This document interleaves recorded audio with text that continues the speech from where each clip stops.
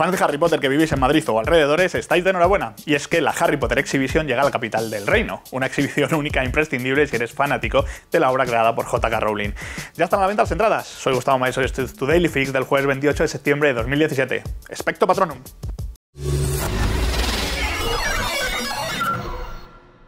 Nos encanta Harry Potter y sabemos que muchos de vosotros sois muy fans de todo lo que tiene que ver con el joven mago. Así que es toda una notición saber que la Harry Potter Exhibition, una prestigiosa exposición que viaja por todo el mundo, va a llegar a Madrid.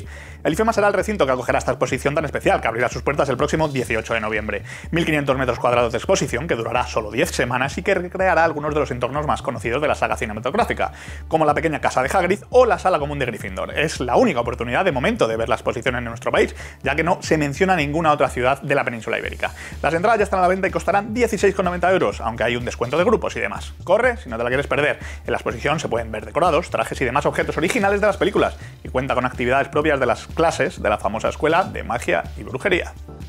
Después del éxito de Legión, nos llega una nueva serie de televisión basada en el universo mutante de los X-Men. Se llama The Gift y se estrena este próximo lunes en Estados Unidos. En España habrá que esperar hasta el 23 del mismo mes para poder disfrutarla en Fox.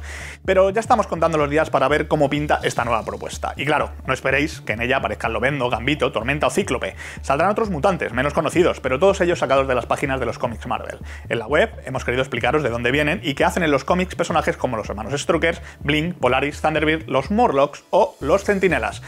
Eh, además, tenemos nuevo tráiler y clip exclusivo en la web. ¿Y a vosotros qué os parece? ¿Pinta bien esta nueva serie de X-Men? Somos muy, pero que muy fans de Ricky Morty, la serie de animación que ya tenías que estar viendo si es que no la has hecho ya. Sus dos primeras temporadas fueron prodigiosas y aunque hace algunas semanas que su tercera edición se estrenó en Estados Unidos, es este viernes cuando llega doblada al castellano a nuestro país. El primer capítulo de esta tercera temporada llega este mismo viernes a TNT, a las 11.45 de la noche.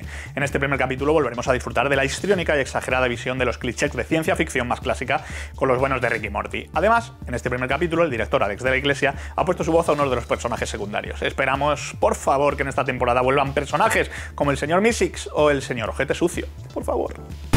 En serio, tenéis que engancharos a Ricky Morty, que no a Ricky Martin. Hasta aquí ha sido todo lo que teníamos en nuestro Daily Fix de hoy. Recuerda volver a nuestra web, a nuestro canal de YouTube, a nuestras redes sociales o a nuestras apps gratuitas para PS4 y Xbox One para ver este y muchos más vídeos de higiene. Adiós.